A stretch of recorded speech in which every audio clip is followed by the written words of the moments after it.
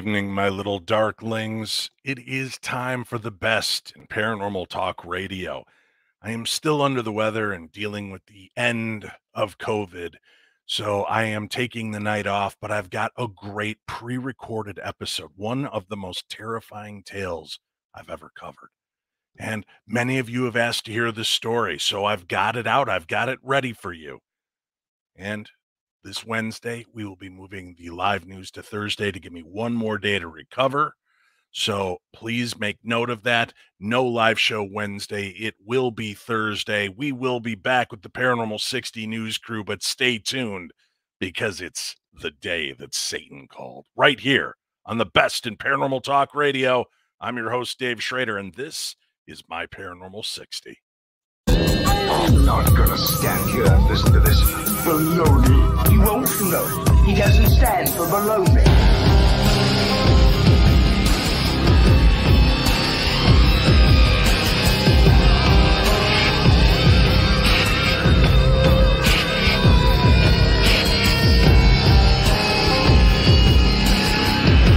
Sounds like a lot of supernatural baloney to me. Supernatural. Perhaps. Baloney. Perhaps not. Good evening and welcome. This is the best in paranormal talk radio. I'm your host, Dave Schrader. We've got a great show. The Day Satan Called, a true encounter with demon possession and exorcism.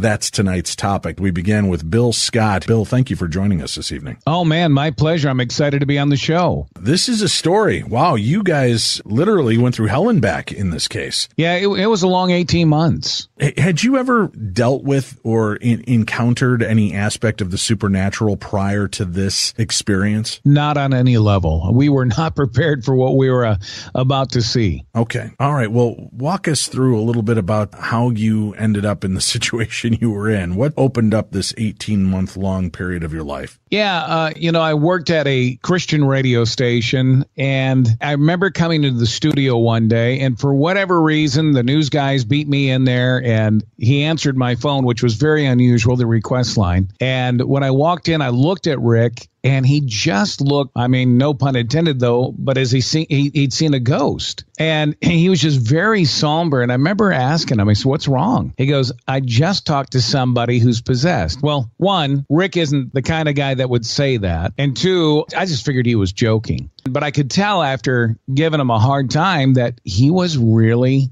scared about something. I didn't think that he talked to somebody who was demon possessed because who does that, right? Right. And so, you know, and and so I'm just like, you know, I'm sure she was disturbed. Hey, it's a radio station. You get all kinds that call in. It is what it is. Don't worry about it. My request line started ringing again, and he goes, "Answer it." Well, as certain as I was that he was not quite dealing with all a reality. It did sort of scare me that he wanted me to answer the phone. And I'll never forget answering it. And there's this little girl. Lacey. She said she was 16 and she needed help. And he's like, that's her. And I'm thinking, well, she didn't sound too scary to me. And I said, you know, what, what can I do to help you out? And she's like, well, I'm going to be sacrificed and I need somebody to save me. Well, that you don't hear every day at a radio station. I Not mean, you hear a lot of, lot of weird things, right? Yeah, not not even But on not our that. show. Uh, never once had th- that phone call come in. Thank God, Bill. Yeah, exactly. If it's going to happen, it's going to happen here on this show, you would think. Right. Let, well, let me ask you this: Doesn't it seem strange that if somebody truly was dealing with the demonic or possession, that the demon wouldn't rise up and try to stop the phone call from being made and the ask for help to begin with? Oh, absolutely. That's why I just I just thought, you know, it's it's somebody, you know, they may feel like they're gonna be in trouble, but it, it was just it was an odd deal. And I, I remember just thinking, you know, I'm gonna get this young girl some help. I'll give her some different safe houses, churches in her area that she could call, and that'll be the end of the phone call. Because I wasn't necessarily a believer that she was going to be sacrificed or that I was even dealing with anything that would uh, be considered demonic. I just felt like she's going through a tough time, might be a mental thing. I mean, you just get all kinds Right. of people that do call in with different needs. So I'm giving her, you know, hey, here's somebody in your area. Let me give you the, the telephone number. And Dave, I'm telling you that at that point, I don't know how to describe it except for a very unhuman voice came on the phone and said, She's ours. You can't have her. I just know that every hair on my body stood on edge Now, I've, I've never heard a demon, never grew up thinking I would hear a demon, never wanted to hear a demon. But you could tell that there was something incredibly evil on the other side of the line. And it's just, I don't know, I just call it a very unhuman voice. I don't know how else to describe it. Well, let's, let me take you back to ahead. her uh, talking about being sacrificed. Yeah, yeah, go Where, ahead. where did your line of questioning go with that? Did you ask why or who was planning on sacrificing her?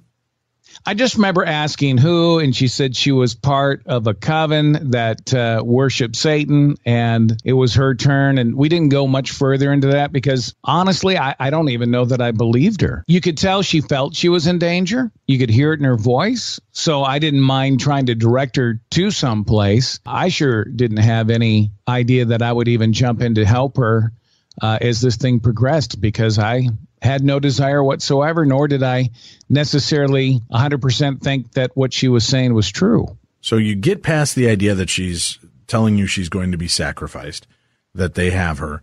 Then this inhuman voice comes over and says, She's ours. We have her. Now, does this voice sound like it's coming from a little girl mocking up her voice, Linda Blair style? Or is oh, this Oh, no. voice above the sound of the phone, like it's it's coming over like a walkie-talkie almost? Y- y- exactly. That's that's more what it. Yeah, that that's exactly the way it sounded like. Did And she just- hear that? Did she hear it as well, or did you just hear the message? I heard it. She would never say that she heard anything. She just, you know, she'd said, "Well, I sort of blacked out. I didn't hear any of the conversation whatsoever." So she would ask, "What's going on?" And you know, at first, I didn't know what was going on. I knew it was something very evil. I mean, you could feel that. Well, yeah. the presence was overwhelming, but I didn't really know what to do with it. I still am trying to process. I mean, it's coming at you like a freight train. And when Sure. you're someone who has never dealt with anything, look, I mean, I grew up in church and all, and I know there there's some denominations that, that lean more towards dealing with demons. That was not our denomination, all right? so it, it just wasn't. I mean, we did not talk about it. I mean, yes, it's in the Bible and you'd hear a Bible verse or something like that, but it was never focused on, hey, be prepared for when you encounter something that's demonic. So I didn't grow up in that particular kind of denomination. It was very conservative. So I'm just trying to figure out what have I stepped into and how do you even handle something like this? And and she'd hang up. She'd call back. We'd go through the whole thing, and and this thing would interrupt, saying that you know she's ours and you can't have her. And of course, this is before cell phones because this is in the late '80s. What would you say so- to the voice? I mean, were you saying, "Well, she's she's calling me. We are going to help her," or were you just ignoring the voice, hoping that if you didn't acknowledge it, it wouldn't continue? Well, you know, at first I, I acknowledged it to some degree, just saying, no, we are going to help her. I had no idea how we were going to help her, but I figured somebody's got to have an answer and, and can help her in. And I still didn't know if the whole sacrifice thing was real. This was just sort of a byproduct of the phone call. Um, at, at that point, I'm not even so much thinking about the sacrifice as I am what in the world is going on. And, you know, this went on, and I, I felt like, okay, there is a, a girl that's in danger, and we needed to help her. And so that much I did know. And I thought, you know, she kept calling from different phone booths. We had even sent some of our staff out to try to find her because she'd give different landmarks. And we go, okay, we think we know where she's at. And uh, you just, you know, you, you couldn't do it. By the time we get there, she'd be gone or we were at the wrong phone booth. And this actually lasted for a few days. Well, if she You was still in such wonder- a hurry to get help, why wouldn't she just say, "Bill, I'm at McDonald's on the corner of Fifth and and uh, Larpenter. Come get me." Yeah, exactly. I, I didn't know. I mean, I didn't know if this thing was trying to move her. I mean, I, I didn't know how any of this worked, right? You know, because she would say she wanted help. Then it was like, you know, she belongs to us. She can never get help. And, and I'm just thinking, okay, so what is really going on? I mean, is there somebody after her for real? And she's running? I mean, I have no clue. I just know when that evil thing would speak, it was just, and, and by the way, we, we never put any of this on the radio, of course. Right. I mean, it, it wasn't a, show that was geared towards the supernatural. It's just a music station. So we, we didn't have this on the air. Plus, we didn't want to really make her a spectacle to other people. And plus, I think you'd probably lose a lot of listeners, you know, it's just. Well, I don't to, know hey, about there's a- that. People might have tuned Well, I in mean- in droves to hear that. well, that's true. I mean, it's it was mind-boggling, but I had I have to tell you, Dave, there were times I wondered were we being played in some way or another. I mean, it Well, was weird because you right. you could yeah you could feel the evil, and it was a very unnatural kind of voice that would speak, but you still have to wonder, okay.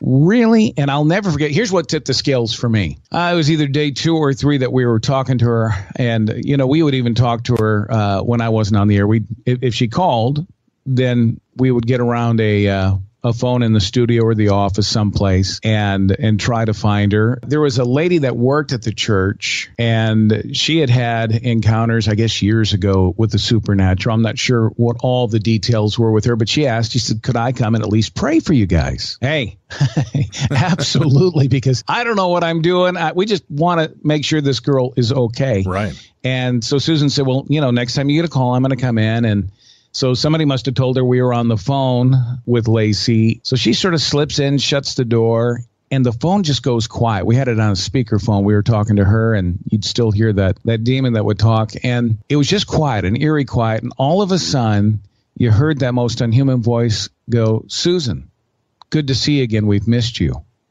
All right.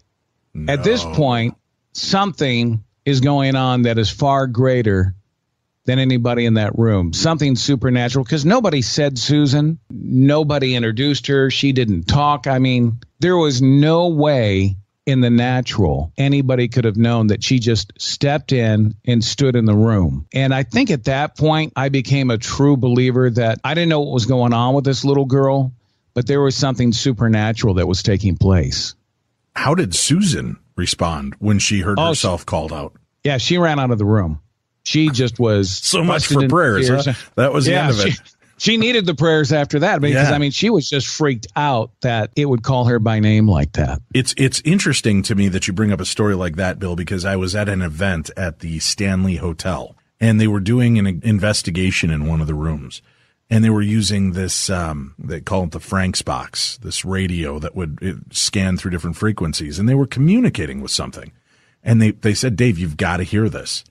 So I, I came into the room and I'm listening and I'm, I'm skeptical by nature, even though I, I understand that the paranormal exists, uh, but I, I don't jump at every conclusion. And I know that people, especially listening to these audio bits, are going to make mistakes. And then they start doing roll call through the room. Can you tell me who this is? And you would hear it say Zaffis. And John Zaffis was sitting there. Who is this? Wow. Patrick. And I'm like, what? And I'm thinking, okay, this is some kind of joke. Uh, one of the uh, guests that were part of our event, uh, Adam Blai, is a Roman Catholic. He is a lay exorcist and will aid in exorcisms. He came into the back of the room and he stands there very stoic and silent. He will not engage what's going on, but he'll listen to what's going on. And at one point, I look over to him and he reaches into his pocket and he's got a little bottle of holy water. And He's holding it in his hand and he cups his other hand over the top of it as if like he's in a, a prayer mode. And you hear the, the voices on the box and all of a sudden you hear the from the radio and then you hear, he has holy water come out of the radio. Wow. And that was the moment, much like you, that, that moment when suddenly this isn't a game now.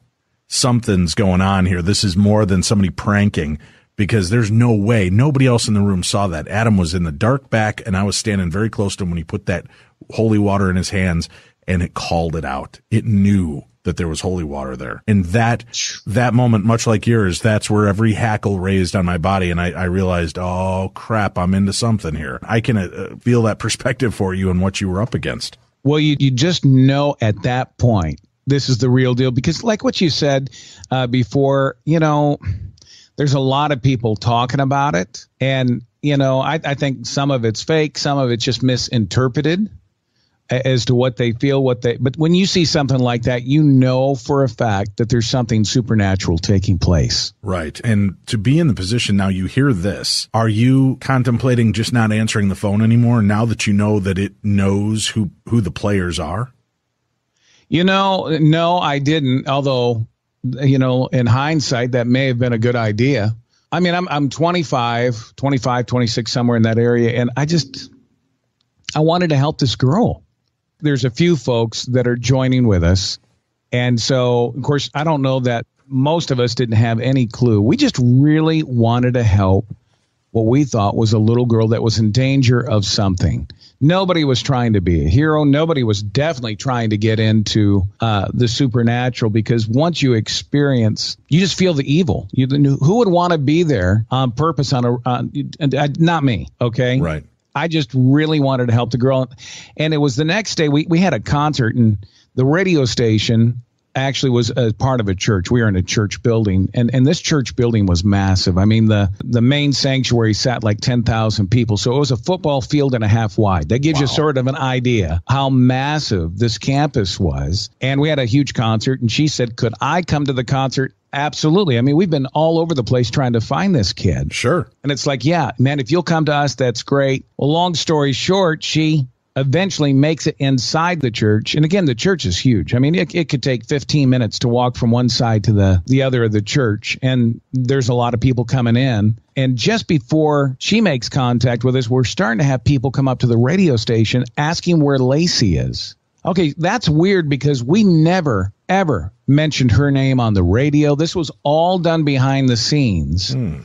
And, and a couple people said, We're here to get Lacey. I don't know who they were. They were escorted out of the church because they weren't up to any good, no doubt. And but it, it sort of um, how how are you addressing that when you now know that uh, she is being hunted? They're they're looking for her. How do you well security knows? yeah, well, the, the security took him out of the out of the church because I mean there wasn't a whole lot they were going to do that was good if if indeed that's what they were there for. That's what right. they were saying anyways. Right. But it became a whole lot more stressful because it's like, okay, somebody's after her, regardless of what they want to do. I don't know. I mean, it's just, it really started to freak me out. Well, we got a phone call from within the church on one of our inside extensions, and it was Lacey. And she says, I'm here. Well, she'd hang up, she'd call back, she'd hang up, she'd call back. And the receptionist called me and said, Who's calling you on your inside line? And I said, Stacy. And she says, All right, it's Lacey, excuse me. And she said, well, that's impossible because she's calling from all over the church and you can't even walk from one phone to the next in, in those couple of minutes. And I'm just thinking, okay, this is just getting weirder so, by the minute. All right. At this point in your head, are you starting to think that maybe you're not dealing with a human? You're dealing with a demonic force that's got its way into the church now because you invited it? Yeah, I'm wondering, okay, I mean, you're wondering a lot of things, but one, it, is Lacey real? Right. I mean, meaning a human. I, I had no clue. Well, the concert starts. All the phone calls stop. What was she saying and on these phone calls? She's playing this I'm game with you? Yeah, she's. I'm here. I, am I'm, I'm lost in the church, and you know, describe what you see. Okay, hey, you're you're close to the fountain. I'll come see you, and we just couldn't find her. And at one point, she had said, the last time I talked to her that night, she said, Would you meet me on the porch? And they had this building behind the church called the Old Carpenter's Home. And it used to be a retirement center for the Carpenters Union. And it was a rundown building. Nobody was using it at, at that point in time. And I said, Yeah, I'd, I'd be happy to do that. And of course, I told people where I was going. I'm a little on the scare side at this point. Just and, a little? Well, a lot. I'm pretty petrified. and, you know, now to go to an abandoned building at the front porch area, which I, I, don't know how far it was from the church. I mean, it was definitely within walking distance, wasn't mm-hmm. real far, but you saw a lot of shadows because there wasn't a lot of lights on that particular building. Now, Bill, just, just to try to yeah. ask the question that I know a lot of our, our listeners probably wonder yeah. has at any of this point, have, have, any of the comments been inappropriate or sexual in nature that would yes Okay. So she has offered sexual deals? Not, not, no. They were saying that the, the unhuman voice were, were saying different things they were going to do to her. Okay. And, and then she would actually talk and say, this is what the coven is doing to me. You know, I have, you know, they've had sex with me. They, I mean, it was just a lot of very, uh, wild stuff. I mean, they, nothing was ever offered to me, but, you know, between the two, between Lacey and hearing these demonic voices, there, I mean, it was um, some pretty sick stuff. And are you a married man at this point? Yes, I am. Yeah, okay. I think I've been married a couple of years at that point. All right. It, again, just trying to set the stage so people get yeah. an understanding. Because again, I mean, let's. You're a young guy. This is a 17, yep. 18 year old girl who's you know, I, we've got that empathetic feel to it, but then there can be this weird underlying sexual tension, especially in heightened moments of fear like this. It can instigate a lot of, of really weird emotions and feelings. So I'm just trying to wrap my head around yeah, why, absolutely. why, you know, one, she keeps vanishing is not there. And the idea that I'm hearing this demonic voice, you know, you're, you're a strong, powerful man because I think at some point that phone just would not have been answered. Yeah, I just, and again, I mean, you're not trying to really dive in, I guess, to the supernatural. I just kept seeing that supposedly there was this little girl that was needing help, and I just But if you're not You know, diving I- into the supernatural, what are you making of the voice? She's ours now, Bill. Well, I mean, I know that's a supernatural, but I mean, I guess I, I wasn't trying to follow after that. It was more just how do I help this little girl Sure. out? You know what I mean? and when it would tell you of the horrific things that it was doing to her, what was your response, or would you ignore it? I just ignored it. I mean, I, I don't even know what you say to something like that. Would it get more agitated because you would ignore it and only speak to her? Sometimes it would, and then it would hang up. And uh, of course, it hated if anybody started to pray. So I it mean, would it would hang just- up it- and and Yeah. disconnect itself, or would it disconnect the entire call? The entire call. Okay. And then usually it was her that would call back, Hey, what happened? I got disconnected. I said, Well, no, you know, whatever is inside you, I said, hung up on us. And she goes, I don't remember anything. Everything just sort of blacked out. And uh, and I'm like, wow, this is just uh, this is really intense. I didn't know if this happens on to most people that are in this kind of situation. I mean, I've never dealt with it before. Right. I mean, everything here that's happening is a first for me. And I, all but one guy that helped us the first, uh, well, during the night of the concert, I don't think anybody ever had any kind of contact with anything that was demonic like this before. You're now heading out to this old abandoned building to go out on the porch to meet this 17 year old woman who's being demonically challenged and po- possibly sexually and physically assaulted by a cult and you're going by yourself. Do you feel looking back at it now, do you feel like maybe you were kind of under hypnotic suggestion yourself that you were continually putting yourself into a situation that could have been extremely dangerous for you as well? You know, I don't know. I mean, I didn't feel that way. I just felt like, man, if it were my daughter, I'd want somebody to reach out mm-hmm. and and save her. And I just, you know, of course, I didn't have kids at that time, but still being married, you're you're starting to think along those lines. And I just, yeah, I mean, and, and trust me, there was people behind me. I I was not going to just be the lone ranger on something like this. so you didn't go out there by yourself then? You know, they were all they stayed at the uh, the door that led out there, and they didn't follow me. They could see me though. I mean, I wasn't going to be without anybody's sight. And when I started to see the porch, I mean, I could see the figure, a shadow of of some somebody on the porch. And of course, my assumption it's got to be Lacey. Nobody else is hanging out at this old abandoned building. And I just yelled to her, Lacey, and I just watched her. And this was one of those other, I guess, aha moments. She just runs across the porch into this brick wall and disappears. And I'm sitting there looking like, did I see what I just saw? I mean, is this for real? And when I realized indeed that was what happened, she was just gone, and I just turned around, I ran back to the church. I didn't walk. I just ran back and told everybody what I had just saw. I mean, some probably thought I was crazy. I thought I was crazy at that point. So then it, it makes you wonder, going back to what you said earlier. So is this a real person or not, right? Right. because I mean, she just disappeared. I mean, she was just gone. I couldn't see features. All I could see was a shadow because it was at nighttime. Did you hear her speak? Did you hear her breathe Nope. or run? Was the sound of footfalls as she took off running? Not even footfalls. I just saw it move across the porch as though she were running and then just gone once it hit the wall. That scared me. Ah, you big uh, wuss. Yeah, let me tell you. you. Holy crap, it's scaring me.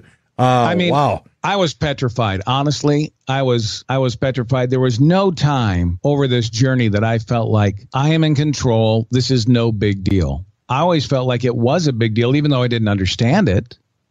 That was just yeah. So I was I was petrified. I went inside. We told everybody what we saw. The phone call, call stopped for the evening, and it was later that night that Roxanne came upstairs looking for Lacey, and she was by herself, and everybody And who was is down the Roxanne? concert.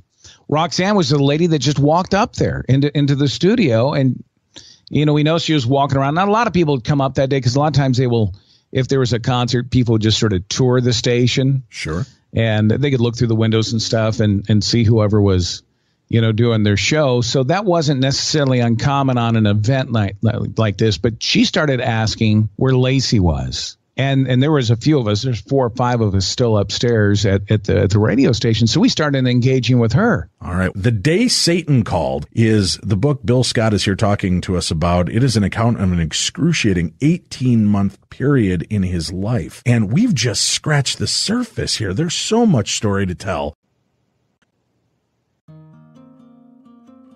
Are you like so many others, coming into abilities that you don't understand and unsure where to safely begin this journey of exploration? Well, award winning psychic and medium Michelle Welch has the answers. Michelle Welch is the author of the award winning book, The Magic of Connection. Stop cutting cords and learn to transform negative energy to live an empowered life. In this book, you'll learn how spirituality and intuition can help you heal your inner wounds while staying connected to the people that you love. Author Michelle Welch shows you how to work with the energies that connect all people. And you'll learn to transform and transmute negative energy in ways that support your personal spiritual journey and help you reach a more powerful and meaningful life. In her newest book, Spirits Unveiled, a fresh perspective on angels, guides, ghosts, and more, Michelle teaches you how to identify and deal with the spiritual energy around you every day. Each chapter features a specific kind of spirit and teaches you how to sense its presence, identify and connect with it, and set the boundaries you may need, all while demystifying the process and making it easy and accessible to everyone, from the beginner to the expert. You'll learn how to understand elementals, connect with an ascended master, protect against psychic attacks, astral travel, and more. Providing meditations, visualizations, and inspiring stories, this book helps boost your intuition and spiritual experience. Unleash the real you. Get the books, The Magic of Connection, Stop Cutting Cords and Learn to Transform Negative Energy to Live an Empowered Life and Spirits Unveiled, a fresh perspective on angels, guides, ghosts, and more. Buy them now wherever you purchase your books or by using the link on today's program guide. Life is confusing enough. Why not make it easier with award winning help from Michelle Welch? Innovation, creation, vitality, and joy are the pulse of mysoultopia.com with many custom creations for the mind, body, and spirit along with classes, intuitive sessions, coaching, and healing energies. MySoultopia.com strives to bring sophistication with a twist to the metaphysical and the holistic market while raising the community's vibration and channeling the new paradigm, which means new and exciting adventures for all. MySoultopia.com is utopia for your soul. Visit mysoultopia.com, your one stop shop for all your metaphysical needs, offering hand selected crystals and crystal jewelry with prices to fit. MySoultopia.com offers the best selections of tarot and divination cards by top designers, expertly curated and award winning book collections from top authors on every subject you'll need on your spiritual journey. MySoultopia is also proud to offer the finest singing bowls and an eclectic collection of the most amazing gemstones, crystals, and crystal jewelry from the top metaphysical designers in the world. MySoultopia.com is always your one stop shop for award winning mixes of Florida water, sage spray, and other spiritual protection. So begin your journey with the best resource, mysoultopia.com. That's mysoultopia.com. Why mess with the rest when you can start with the best? mysoultopia.com. Again, that's M Y S O U L T O P I A.com. All right, Bill, we need to know. First of all, you start getting phone calls at the radio station. This girl's begging for help. She is a sex slave of some creepy cult. While you're talking to her, a demonic dark voice keeps overlaying and chatting to you. While she was speaking, did the voice ever overlay her as though the two voices were speaking at once? Or were they always separate? It was always separate. It almost sounded like she was gagging and then she would go into this voice. But when she was in that demonic voice, there were times you could actually hear a couple of things talking. You never heard, but it was things that just weren't human. You could hear because sometimes it would even scream. Like if you started praying, it got real agitated. And so, yeah, I guess w- once it was under the the demonic side of things, sometimes you would hear a couple of different things, or you'd hear more than one scream at a time. And Did it was just know I, things about you or or your coworkers what you know it knew Susan when she came in the room to pray. Would it start taunting you and and say things specifically about Bill Scott to try to unnerve you and scare you off from helping? No, I mean, there were definitely things it would try to scare you through intimidation. You know, do you realize you're a mere mortal? Do you have any idea what you're dealing with? Well, that's a great question. Mm-hmm. it was like, yeah, I mean, I get it, right? I mean, that you're you're dealing with the supernatural and any of those times I said it's not me you have to deal with it's Jesus it's God you got to deal with him not me I mean I I, I just look at you delegating I, I had a healthy well fear done. Yeah, you should. Right. This thing is creepy. All right. It's calling out. It's, it's, uh, it's being, uh, overtly sexual in some of the conversations. It's being threatening during conversations. She seems to black out in these moments where she has no recollection of what happened or, uh, what's going on. Did she ever describe, does she believe that she was impregnated with the devil uh, during this cult practices? She didn't say that. She said, you know, she told me that she had sacrificed uh, babies, that she was a breeder. And I honestly, I have no way to prove whether that was true or not true. I mean, even to this day, those are things that were said to me that she said that she was forced to do over the time that she'd been involved with this coven. And her dad is the one that brought her to it when she was a little girl.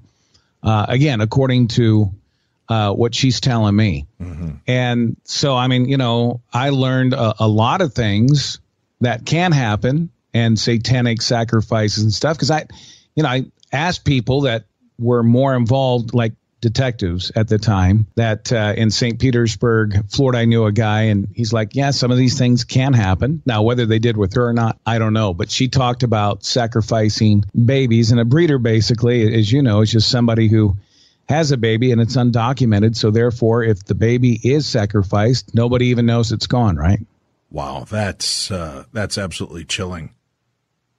Absolutely. Yeah, chilling. I mean, now wasn't was, that during the I never dreamed of that? That was during the heat of kind of the satanic panic in the United States too, right? During yes. the eighties. Yeah, that was right smack dab because some police forces in uh, major cities and stuff, they actually had some units that were looking into a lot of the satanic stuff. So yeah, that was right during the height of everything, uh, satanically speaking, in in the eighties. Okay, you go to meet this girl, confront her finally on the porch of the old wooden house behind the behind the church. You see her. She takes off running, vanishes through a brick wall. What happens after that? I mean, you, you return back quickly, realizing yeah, yeah real quick, realizing that now you're really in this over your head. How does she go from a ghost like shadowy apparition to human form in your world? Well, you know, we don't hear from Lacey after that for that particular night. What we did see was Roxanne, another lady, coming up saying she was looking mm-hmm. for Lacey, and it was just her by herself. And so we started talking with her, and she's, well, I, I'm supposed to bring her back. And it, it's sort of lined up to what Lacey was saying. And I'm like, well, you know, you can't have Lacey, and, and we're trying to help her. I had never seen anybody in person that could speak with a man's voice. I mean, that lady's eyes, I remember just rolled in the back of her head and we start hearing the same stuff that we did on the phone. You can't have her. She belongs to us talking about Lacey. And I just honestly, I felt like I'd stepped into some s- sort of cheap horror flick. I wasn't even certain how we got to this point. Now we've got this lady in front of us, eyes rolling in the back of her head. And if she did look at you, her eyes were so dark. I don't even know how to explain it. It's just, her eyes were dark. The whole when you hear, the whole sclera or just the the color iris part and the pupil? Just the whole thing was dark. It was just mm. a it was hard to explain, but you, you could tell it wasn't her that was looking at you. Right. And again, you feel evil. I mean, you really feel evil when you come face to face with something like this. Well, I, I didn't know what to do. There was a guy that was there. He says, Well, we can pray over. And I'm like, Hey, I'm I'm behind you the whole way. Maybe two or three people behind you. I mean, I, I I I was not the front man on on praying for this girl, and you know, we, we, we went for hours. We talked. She'd scream. I mean, she would just, you'd hear men voices come out of her. And it this was, is Roxanne. And this is Roxanne, and it's right there. I mean, I'm watching this with my own eyes. I had no clue uh, up until now that this could even take place with an individual. I mean, the, the closest thing I've ever heard of anything where some missionary coming to our church said they were in some village in Africa and saw somebody that was demon possessed. I mean, that is as far as I've ever heard anything Right. uh, in regards to that. And here I'm seeing it. I mean, she was just evil. There's Now- no other way. Were you to- ever to explain. considering while you're talking to Roxanne that maybe this really is Lacey?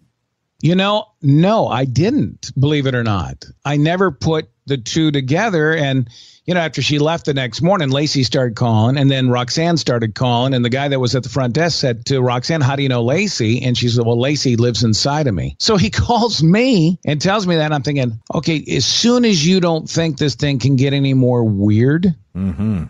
it does. And she said, Roxanne's coming back up to the church. So it wasn't just me. It was always like five or six of us that were trying to help her. So we went back trying to think, well, what do you mean, Lacey, uh, inside of her, what, what she had said? And I'll never forget, she got up there and we're talking with her. And she goes, well, Lacey's lived inside of me for years. And I'm thinking, I guess that would make sense going back to the porch that we weren't dealing with a human. I mean, I felt as though we were because Lacey sounded like a little girl, Right. a little scared girl. It wasn't anything that you would have gone, hey, that sounds demonic. But then you think, okay, she's all over the church making phone calls where you couldn't walk from point A to point B uh, in that time. We could never find her when we go to phone booths. When I did see her on the, the, the porch of the carpenter's home, she ran and then disappeared. And of course, all I saw was a shadow, and that would make sense that that's all that there was. And so things are now starting to click in my head. Lacey's not even a real human. It's Roxanne that has been making the phone calls. You can see how it starts twisting your brain. You're thinking, what in the world are we dealing with? And at that point, Roxanne, and that's what you're thinking. I want help. Yeah, that's Yeah, what you're that's what thinking. thinking. At that point, I'm thinking, hey, I wonder if the movie theaters are hiring Well, because I'm not tell you. working there anymore. I'm out the door, just- Bill. Wow. it was weird and and I, I remember uh, somebody started praying over roxanne and all of a sudden there was that little girl voice oh no. and she goes bill i mean you could hear it i mean it, it was lacey i mean it was this little girl because she just it was a very unique scared little girl voice she just looked up and says bill you told me you love me you told me that you would help me that this place was going to be safe and now you're praying against me why would you do that? I, it took me a minute to begin to really even think straight because really the last three days we were doing everything we could to help Lacey, the scared little girl who thought people were out to get her. I mean, that was the only reason we did what we did was to help Lacey. And now I'm seeing that Lacey's not even real. You know, going from three days before not even having any encounter and anything supernatural on the dark side like this to all of a sudden you're peeling all these different layers. You keep going deeper and deeper, you know. And I said, Well, Roxanne, what, what do you want to do? She goes, I, I, I want Lacey to leave. I said, Well, you tell her to leave. And man, there was screaming. Her eyes were rolling in the back of her head. It was like something you would see, I guess, uh, uh, on a movie theater kind of a deal. It was just, except for it's right there in front of you. And again, you feel the evil. I, I don't know how many times I've said that, but it's just, I don't know how else to explain it. You, it, you're, you're watching this abnormal thing take place in front of you. But it's more than just even seeing that. Although that would be enough for me, Dave Yeah. but but just feel I didn't need all the extras, but No. feeling the evil. Uh huh. It was almost like somebody would turn down the thermostat. I mean, I don't think the temperature actually went down, but there is a coldness to evil, and I'm I'm sure you've experienced it before in dealing with the show. There is a coldness to evil, and you could feel it just engulf the room. That's uh, yeah, that's absolutely a great and uh, very theatrical telling of it. I think everybody can feel that themselves listening to a story like this. You've now come to a very frightening realization. She's she's calling out to you. She's needing your help as this little girl's voice is pulling out of this adult woman who is also regaling you with this creepy male masculine demonic voice. Are you thinking, you know, time to call Bellevue? We need to get her psychological counseling and locked up? Oh yeah, I'm I'm thinking something has to take place. We've got to get her help. Well, you know, who? Wh- wh- who do you call? What do you call? There's not a lot of people that want a whole lot to d- to do with this in my circle of friends, Right. which maybe they were the smarter ones between the two. and you know, she's like, I, I really want my life on track. I I don't want to go back to But who's saying uh, this to you? Roxanne? Th- This was Roxanne. Yeah, she says, I don't want to go back to the people that I was with, and you know, I I, I want to. I don't want this in my life anymore. And I'm like, well, you know, we want to help you. There's got to be somebody that can take you in. And and I knew it would take a few days to find someone. And you know, I, I honestly, Dave, you know, of course, I'm I'm 53. I was 25 or so then, and I had a big heart, uh, but a really small brain at the time and I think just my my passion to help somebody overtook any good kind of common sense because I'll never forget telling her, "Why don't you come home with me and and my wife, and you stay with us until we can find somebody to take you in an organization because I figured there's got to be somebody that can take her in and begin to help her out." Bill, you, you have to realize now, especially in hindsight, you were under the oppression as well. You were being reeled into this thing because Oh, yeah, I- I nobody in their in. right mind, nobody in their right mind would think this is creepy as hell. Hey, you should come home with me and my wife. You know, you say it like that, it just sounds so much different. well, it, I don't know how else to look at it, Bill. I mean, there's a certain line that you're you, you know, and hey, listen, we love to help people. And we help people on the show as often as we possibly can. Sure. But the minute your eyes start rolling back and you're talking to me as a little girl in one breath, an adult woman in another, and a, a sexually nasty demonic voice in the third, not at my house. and I tell people this that was really a stupid choice on my behalf. I mean, one, you, you need to protect your home. I don't care if you're single and living by yourself the or evil a in. Yeah, you you just don't do that. I mean, I had a really big heart. I wanted to see her get help. I wasn't thinking straight, and I should have never done it because I remember we got home. Well, my wife was, you know, she found out later I'd made the decision. She was not on board with it. Hey, hon, we got company. Um, actually, we got a whole group. Wait a minute. Uh, Your wife wasn't on board with you bringing home a psychotic woman with multiple personality disorder? well, Some wives, huh? You just can't get past them. like on have a heart um yeah it, and, and you know we get home and of course now i mean we just got this little duplex it's a two bedroom deal so it's not like there's a whole lot of space right Mhm. and i'll never forget the first night we, we put her in the guest bedroom the only other bedroom we had and we went in our bedroom and locked the door i mean we're scared i mean she has told us about all sorts of th- stuff from baby sacrifices to Right. so much ungodly stuff. And I do remember walking past her bedroom in the hallway one uh, th- one evening, or that evening, not one evening, but that evening, and you could hear voices coming from the room. There was more than one person in there, and people asked, "Did you knock on the door or open it?" And I said, "No." I did not want to know. Obviously, she was I just- entertaining and was a little busy at the time. Yeah, and I just, you Oh, know, who am. I to interrupt? And I just, I didn't want to know what I had seen so far. Right. Honestly had blown me away. I didn't want to deal with anything more. So we went to bed that night. But I mean, we locked our door. And because we didn't know if we were safe or not. And she stayed with us. It was a couple of weeks before we could get an organization to agree to let her in. And we found an organization. So I'll never forget, we took her and we sat down. The people are interviewing her, and I was sitting there. My wife was sitting there. And I said, By the way, I, I feel like I got to be honest. I said, um, She's possessed. Well, yeah, you, you can imagine at the you, Bill. response. Is, yes. okay. The guy's just writing stuff down in the notes. We may have two people to admit by the end of this session. You know, she might be possessed, and she really doesn't like holy water. how did uh, how Um, did they respond immediately to that? Was it kind of a laugh and a, and a arched eyebrow, or did they? Yeah, just sort of an arch eyebrow. And he goes, "Well, you know, we deal with all types here. You know, we got we have homeless people that come and drug users and prostitutes, and and we are able to walk with them. But I mean, they were not willing to acknowledge. You know, and I said, well." No, I, I'm talking like she's possessed. Things are inside her. And they just looked at me as though I was crazy. And I thought, okay, hey, I was honest. I said it. We'll, we'll just pull back because I was afraid they wouldn't take her. And I, they didn't believe me, Right. of course Okay. and So they said yes, she could she could stay, and I thought, oh, thank you, Jesus. So I we dropped her off, which was a wonderful moment after spending a couple of weeks and, and really the hell that we had walked through. Was she upset that I, you were leaving her behind? No, she was okay. She says, I want to do what it takes to be on a road to recovery. And I'm like, these are the people. They'll do it. And I think you had to make it, I think it was like six weeks before they could have any visitors.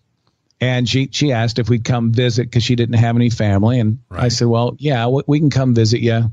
I mean, I think you got an hour once every few weeks after that. And and so we did a couple of times, but I remember driving home thinking it's over. We made it.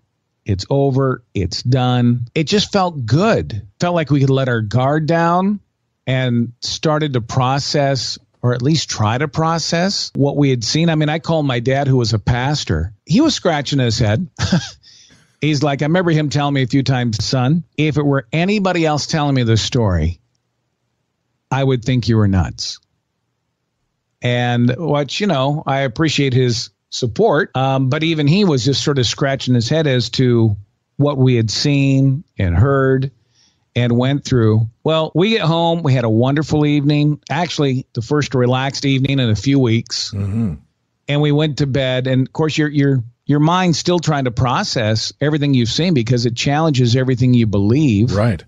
It's like, okay, there's this whole nother world out there. I mean, I'm religious as far as I believe in God and Jesus and all that kind of stuff. And I, yeah, uh, you know, there's there's good, there's bad, there's God, there's Satan.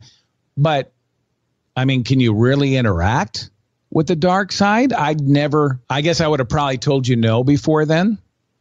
Not so much after that event. So I'm I'm processing it. And we laid down to go to bed, and I started getting real scared and I could feel evil. I'm assuming it's just everything's catching up from the last three weeks, right. everything I saw. Right. And so I didn't say anything. I just laid there in bed and you could feel it getting more and more strong. All of a sudden, the bathroom light turns on. I cannot tell you how scared I was. And my wife's like, What just happened? I said, I don't know. I said, I could feel evil. She's, I could too. She says, I thought maybe I was just being scared. And I thought that's exactly what I thought. She goes, You, you gotta you need to get up and go turn the light off. I said, Not a chance. I, I'm telling you, I was never the brave one through this. I said, We can pray from the bed, but it, the light stays on. And Bill, I think you and I might be long lost brothers. Yeah, you can get up and go I'm turn that light off. Oh no, I can't. Why don't you do it? Yeah, if you want to do it, that's fine. Right oh. about now, I think I want every light on in the house. yes. Every night we'd go to bed, you could feel that doors would open and close. You could hear them slamming. Lights were on and off. Um, one night I could feel something hitting my foot, and I'm asking my wife, "said Are you like kicking my foot or something?" And I knew the answer would be no, but I had to ask her. And I said, There is something hitting my foot. I mean, it felt like somebody was at the end of the bed just slapping my foot with their hand. And of course, all the lights would come on. I remember one night we ran out at 2:30 in the morning and just left the house to go to a friend's house a couple doors down so we could sleep. We were that scared. And you could always feel the evil before. Well, we finally had some friends that said, you know, why don't we come and cleanse your house? And I'm like, what do you mean by that? They said, well, let us just pray over it. And and we'll just command anything to go. And I'm like, okay. I mean, right. I had never seen anybody do that, but I was I'm I'm very wide open to whatever it would take to make our house normal again. Right. And we were scared. Sure. And they, they would do that. The next night it would happen. They came a couple of times, and I'll never forget towards the end of this. It lasted, uh, it was probably about two or three weeks. I was laying there and I could feel something very evil. And it just felt like it kept getting closer and closer. And I'm not saying anything. And my wife sits up. She looks at the end of the bed, which we had a big a mirror on top of a dresser and she could see down the hallway behind me and she lay down she got up she lay down. Third time she gets up i said what do you see? She says i'm dreaming. I said no you're wide awake. What do you see? She said there is a black figure walking towards our bedroom. I can't even tell you how scared i got at that point. And i said i'm just going to start praying that god will protect us and because uh, there was not a chance I was getting up. she says, you know, as you're praying, it's backing up. So I just prayed and finally she says, it's gone. So we got up, turned every light on in the house. We're in the living room. She's in tears. We hadn't slept well and, uh, and we're scared out of our mind. And I remember her starting to doze off on the couch and I'm just sitting there because I couldn't sleep. I was just too scared after that. And it was the only time I ever saw anything, Dave. I mean, and I saw this shadow in our in our hallway, and it was just a shadow. There was nothing, no no features or anything like that. And I remember standing up, and I walked to the hallway, and I, I think it was just out of pure desperation. Trust me, it wasn't because I, I was brave. And I just said, "Why are you in my house?" And like we're talking here, it just simply said, I'm an invited guest into your home. Well, those are words you don't want to hear. Nope. And I just said, You need to leave in Jesus' name. And I it, it turned around, it walked down the hallway and just faded out. Before I did that, I, I do remember I asked this. This is a key part. I said, Why in I said, In Jesus' name, why do you feel you're you're a guest in my home?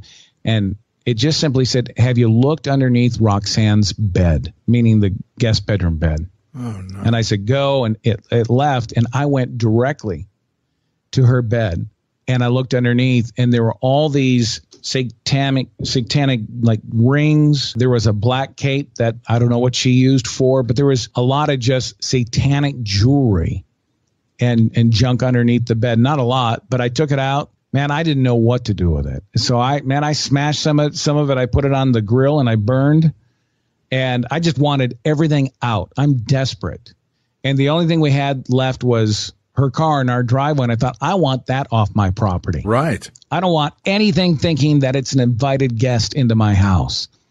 And this time, my wife is up because you know the barbecue's going at 2:30 in the morning, and uh, she sees me getting rid of this stuff. I get in the car God is my witness. You could feel that there was something in the back seat. You could feel that evil, and I'm. I just kept saying to myself, "Do not look in the rearview mirror." Uh-huh. Now, whether I would have saw something or not, I don't know, but I could feel it, and I was so scared. I I was going to take the uh, car about two houses down to had like a little cul-de-sac field. Right. I was going to park it there, I had one leg out of the door, the door open as I'm driving it. So at any minute, I can just bail. Right. I'm telling you, there was something in that car. I mean, I ran back to the house. And while we lived in that particular duplex, that was the last thing that actually happened. Everything went back to normal after that, which was awesome. I mean, we're still going to go see Roxanne from time to time just for a quick visit, but that was no big deal. But the house, I mean, you could feel there was no evil left. Nothing happened. No doors open, closed. It was it was done, and that felt absolutely amazing.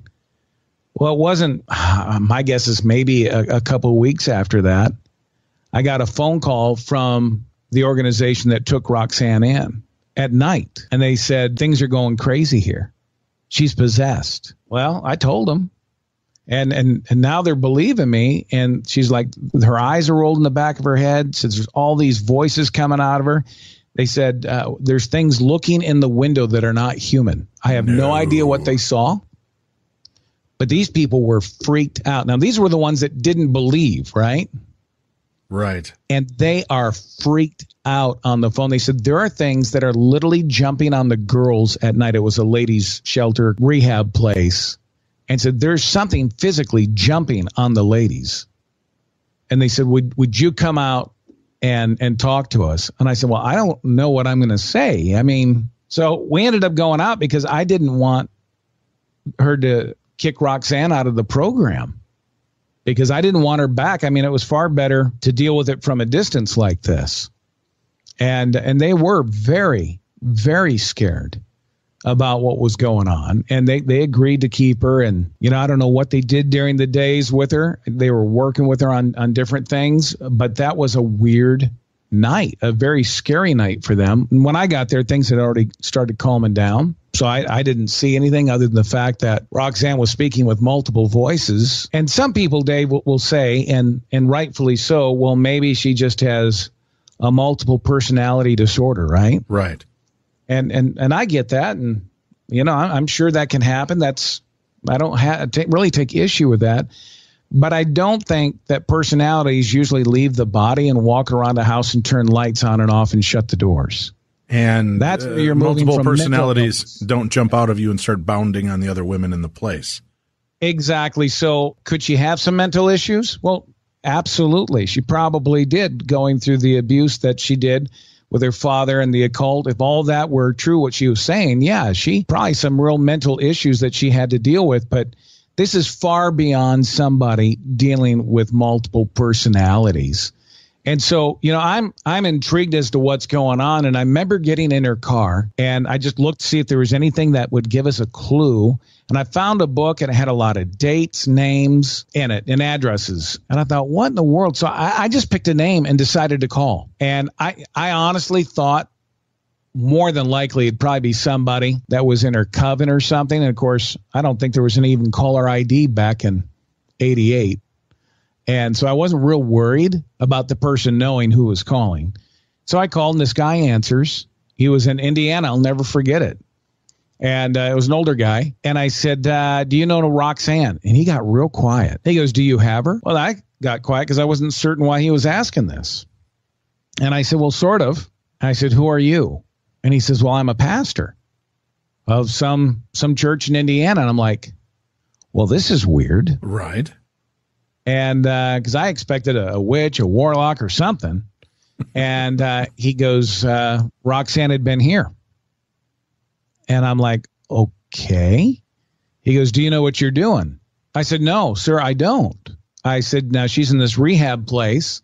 And I go visit her, but I said, I have no clue. He goes, he said, I have dealt with this kind of thing. I think he said for 20 years.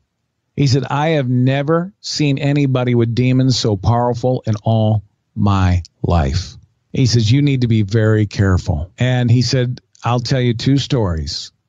I said, All right. He said, She stayed with us in our home for a couple of nights, and then we got her bus ticket and sent her home to where she was from. She said, The night before she left, he says, My wife and I were in our bedroom, was at night, decided to pray for her. And, and she, he said, Our house began to shake. He says, I'm, I'm talking physically shake to where pictures came off the wall when we started praying for her. And he said another time after Roxanne was already home, a couple of states away, he says, My board and I got together and we decided to go ahead and pray. And we said, you know, Lord, just bless Roxanne. And he said, the church began to shake. And he said, We audibly heard a voice that said, Why do you torment me so? Well, this guy's not encouraging me at all, okay? like, there is some powerful things inside of Roxanne. And he asked me, He says, Have you encountered a demon named Abaddon? And I said, I don't think so. He goes, You'd know.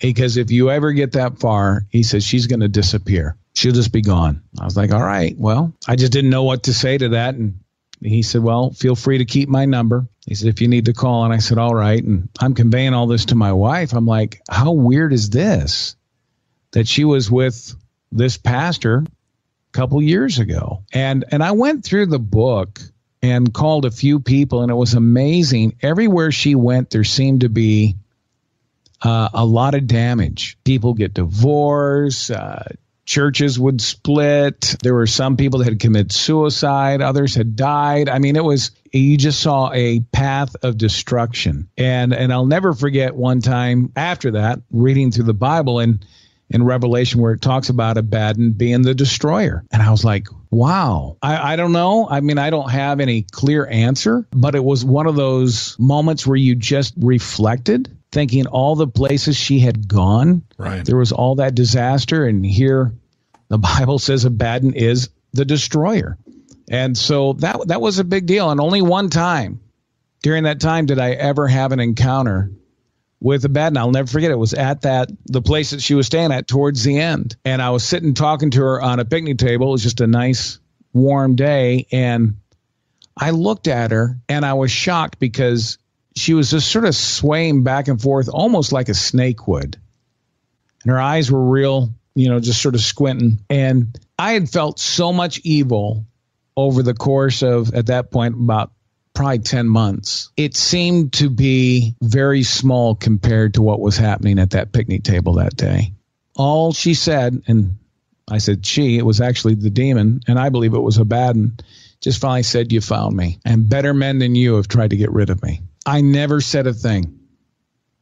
I just, the, the level of evil was so, I, I just, everything I had seen up to that point didn't even come close. And I just felt like I needed to keep my mouth shut. I did, and that, that was the only time that I, I know of. Once anyways. you have the name of the demon, isn't it easier to rid yes, yourself of it? It is. It is. But you know, even in one place in the Bible, it talks about some are so powerful, it takes fasting and praying and multitudes praying over that. You know what I mean? Right. And I figured, well, that guy said this was a pretty powerful demon and and I thought it's it's just me and I'm I'm just not going to attempt it. I I honestly feared for my safety. Yeah, you should. By the level of of evil that I felt and you know, during that time every once in a while people would call saying that they were looking for Lacey still.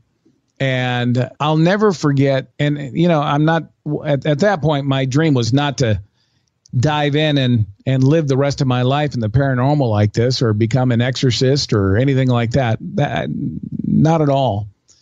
But i had a church call me once during this time and they said hey we we had heard through a friend that you know how to deal with people that are possessed. Well, I said, you heard wrong. I mean, I, I don't know really that much. I, I've been sucked into this, but I am far from an expert. And they're like, we don't know anything. And we've got this young lady at our church right now speaking in multiple voices and we don't even know what to do. Would you please come immediately? And I said, no. They said, no, we really, we, we know nothing.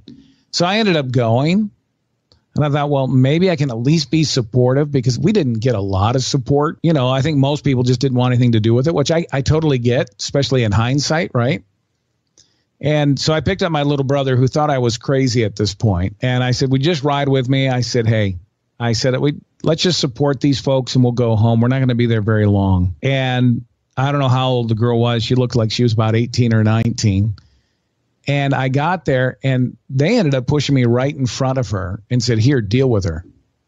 Well, that was not what I went for. I'll never forget her looking at me and her eyes rolling in the back of her head. This man's voice came out and said, We're getting sick and tired of you. Looking at me. And I'm thinking, I don't get it. What do you mean? Because I'd never met this girl before, have anything to do with her. And, you know, Bill Scott's my radio name, it's my first and middle name and it called me out by my legal last name, which nobody in that room knew except for my little brother. And it said, We've had it. We want Roxanne back. So we are going to kill you and your wife. Man, I'll never, I just, I was scared. I mean, it knew my name. It knew Roxanne. The whole thing was just too eerie for me, and and I just said, you know, no, and uh, and and people started praying, which I appreciated, and it was it was pretty mad. I mean, it spit in my face, which was really gross. Right. And I'll never forget it just looking. I mean, you were eyeball to eyeball. We're only like six inches away. And I'll just never forget it saying, Do you have any idea what you're dealing with? because you're nothing than a mere mortal. Second time I've heard that. But boy, when you're face to face, and and I got that. I said, well, it's not me you have to deal with, it's God. And I'll never forget these words as long as I live. He said, true. One day my tongue will confess that Jesus is Lord and my knee will bow. Today is not that day. Holy cow anyways, long story short on that, after they got done praying, somebody took the lady home just for the night so they could get her taken care of. Well, she starts calling me at the radio station, this this girl, and she goes, Oh, I want to be religious. I don't want to. Good for you. I don't need somebody else to deal with. I already have Roxanne, right? And I right. said, Good for you.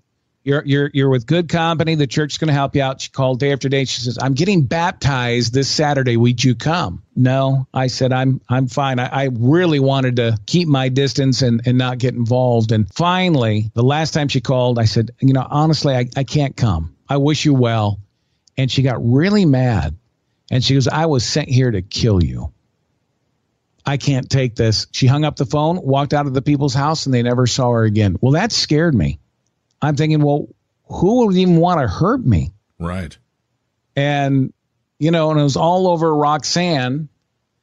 And and that was really, I mean, that was the only time somebody had ever threatened that. We'd had some bomb threats at the church a couple of times that we wondered if it wasn't related to that as well. You could tell somebody wanted Roxanne back. And, at, you know, if you're not dumb enough the first time, this proves that I'm, I was really not thinking well. When she got done with the, the rehab, it was like, uh, I think it was 10 months that she was there. She got out, but she had to have somebody pick her up. So my wife and I went to go pick her up, brought her back to our house, then to get her an apartment. And so she was only at the house for a short period of time because we just weren't going to allow her just to live with us. We helped her get set up with an apartment. She was able to buy just a Were things of a car and were things calmed down with her after her her No. stint? No, they weren't. That that was the thing. I thought we were bringing her home and we wouldn't have that issue anymore. Even for those small times she was at the house, it all started up again as far as her and the way that she was speaking and and and these things coming out of her verbally. And I'm thinking, what in the world? And somebody said, "Well, you need to now take her to a therapist." Counselor, therapist. all right. and I, I said, that's fine. I said, we'll even pay for it. So I remember we did. And I sat down with a therapist before they got started. I said, I want you to know as you counsel her and work with her, she's possessed. well, it didn't go over real well. I think they thought I was probably the one that needed counseling, Right. which I probably did on some level. Sure. I mean, here I am. I brought her back home for the second time, but they didn't believe me. And I remember one of the sessions, I'd wait out in the lobby, of course, and uh, he came back and got me. Know, it was our last session together, but she had gone nuts in the uh, in the session with men voices starting speaking back to the counselor, therapist, and he had never experienced that before. And he didn't have any answers for it other than the fact that he wasn't going to see her again. He was scared. And, and and he had the right to be. You could feel the evil in the room. And he just like, this is so far beyond me. We're just not going to have any more sessions. And I'll never forget. I mean, you know, this is man. I mean, you're tired after 18 months of all this going on, and and and I mean, I'm sure I'm missing a lot of details that I put in the book because we don't have time to go through the whole book here. I remember I was at somehow I don't even know how I was at a pastor's house overnight. Uh, it was a friend of mine. It was actually her husband, and they invited me in. Said, you know, you're a couple hours from home. Spend the night. Leave tomorrow. I said, that's cool. So I, I sit down with this guy, and I'm just sharing the story of what's going on and what had gone on. And he goes, you know, I think I know what's going on. Well, I've wanted to hear that for the last 18 months. Right.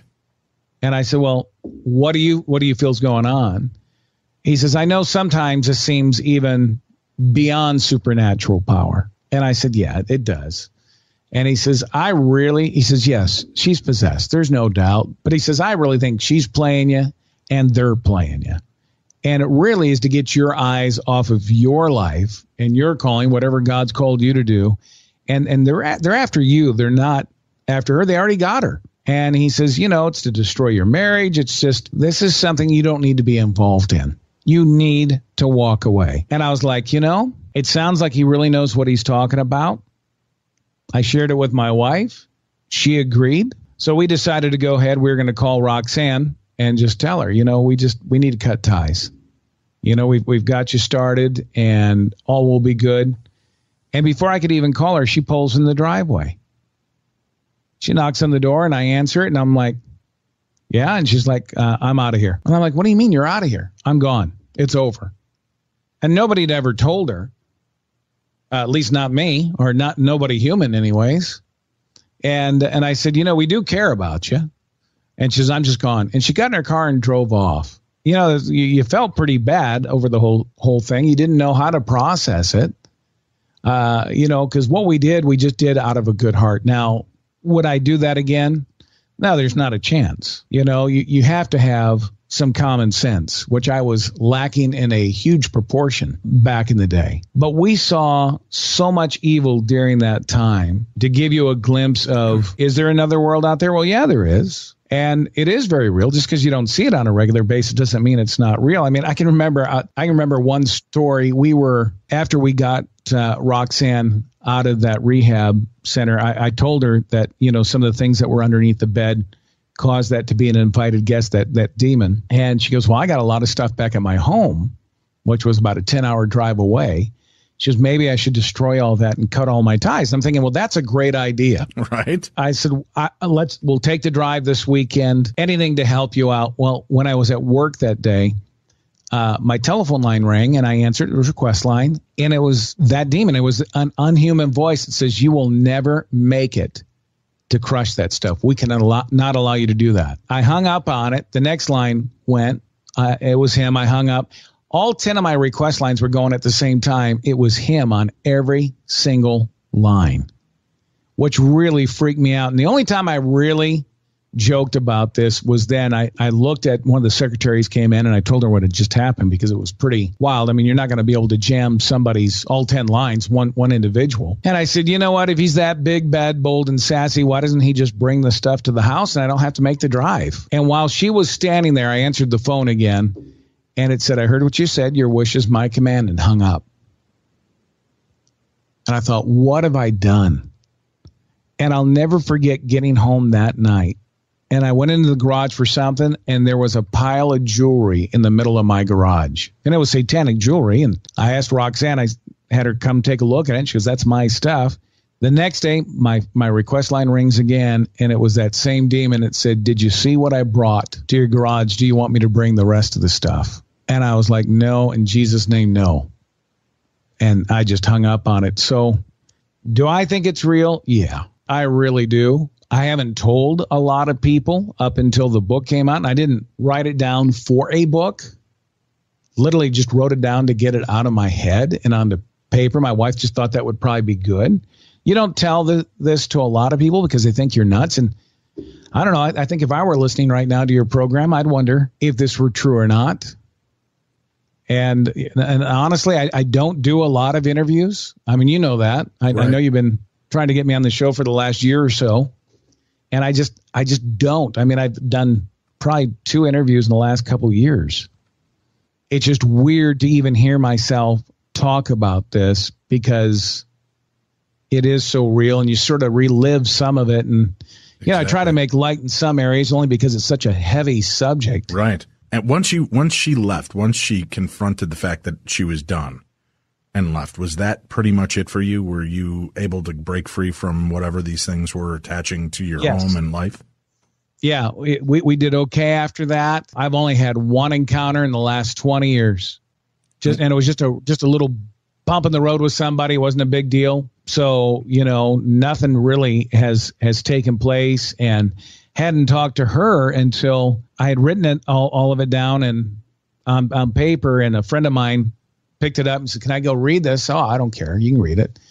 Well, he ended up saying, I've got a friend that would like to read it. Well, he ended up being an agent.